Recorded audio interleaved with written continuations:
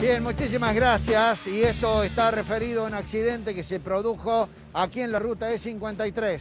Lugar frente a lo que es una de las rotondas ubicadas frente al ex frigorífico Estancias del Sur.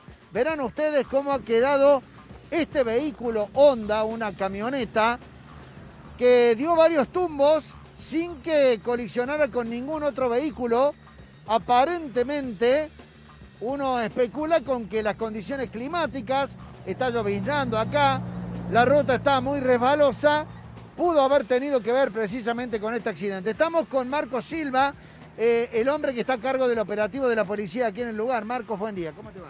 ¿Cómo le va? Buen día, señor. Bueno, como dijo anteriormente, entró una comisión por lo que es la base de Río de Ceballos por un supuesto vehículo que se abrió de vuelta.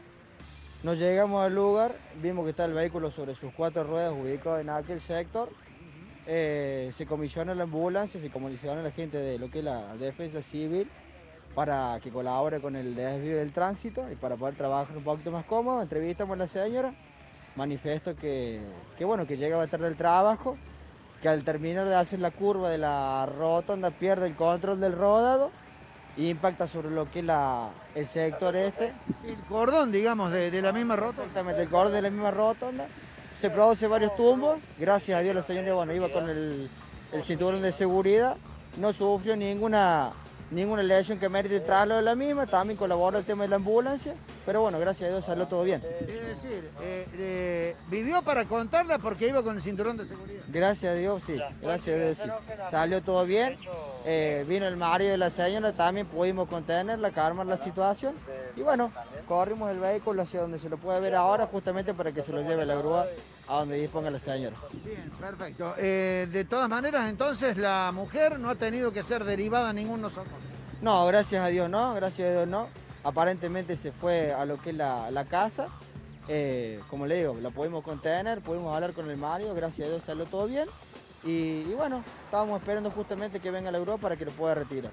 Marco Silva, muchas gracias. Muy Que le vaya muy bien, que tenga buen día. Hasta luego. La palabra entonces del efectivo de policía, el oficial que está a cargo del procedimiento. Verán ustedes, eh, a simple vista da la impresión como que el vehículo hubiera impactado en otro lugar. El impacto es realmente muy fuerte, pero en realidad lo que se produjo fueron varios vuelcos.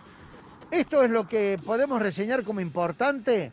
¿Y por qué se insiste tanto con la utilización del el uso del cinturón de seguridad?